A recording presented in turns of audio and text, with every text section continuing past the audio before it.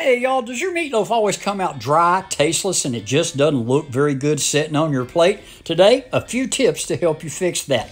Now for the moisture. Add carrots, celery, and onions to a food processor and mince. All of these have high water content and it just adds moisture to your meat while it's cooking in the oven.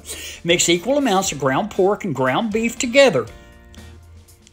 Then add in your veggies, breadcrumbs, Worcestershire sauce, eggs as a binder, salt, pepper, and fresh garlic.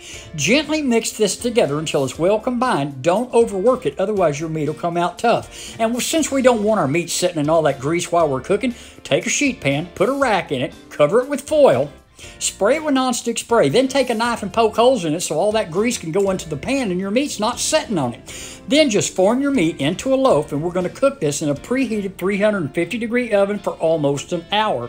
When it comes out, let it rest about 10 minutes. Slice into it. Now for the more appealing part. We're going to make this look even better and we're going to give it more flavor. Sear both sides in a skillet over medium-high heat. That just adds so much more flavor. Plate it up on a bed of mashed taters hit it with some brown gravy, and enjoy an absolutely pretty, delicious meatloaf. Thanks so much for stopping by. Leave a comment. I'll answer every one of you. But until next time, as always, bye bye, y'all.